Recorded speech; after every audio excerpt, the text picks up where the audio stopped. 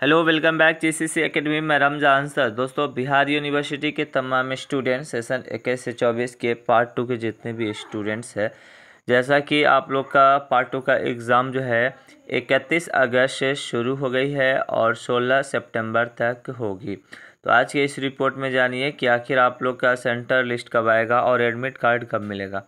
काफ़ी सारे बच्चे पूछ रहे थे कि एग्ज़ाम शेड्यूल तो आ गया है, लेकिन इसका सेंटर लिस्ट कब आएगा जहाँ पर हमारा एग्ज़ाम होगा और एडमिट कार्ड जो है कब मिलेगा, कहाँ मिलेगा और एडमिट कार्ड मिलेगा या नहीं मिलेगा या पार्ट वन का एडमिट कार्ड पे ही एग्ज़ाम होगा।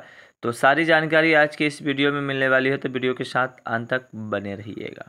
ठीक है तो देखिए तो जैसा कि 31 अगस्त से जो है ना एग्ज़ाम स्टार्ट है तो सबसे पहले आएगा सेंटर लिस्ट उसके बाद मिलेगा आपको एडमिट कार्ड एडमिट कार्ड की बात करें तो जैसे इकतीस से स्टार्ट है तो पच्चीस, छब्बीस तारीख, पच्चीस के बाद ही मिलेगा आपको एडमिट कार्ड। पच्चीस तारीख के बाद मिलेगा एडमिट कार्ड, ठीक है?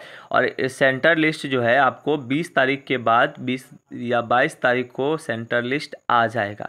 तो आप लोग घबराए नहीं, ठीक है? बेफिक्र है, आपको सबसे पहले इस चैनल पर अपडेट दी जाएगी तो चैनल को सब्सक्राइब करके रख लीजिएगा, वीडियो को लाइक कर लीजिएगा, ठीक है? और बेलाइकन को पूरा सेलेक्ट कर लीजिएगा।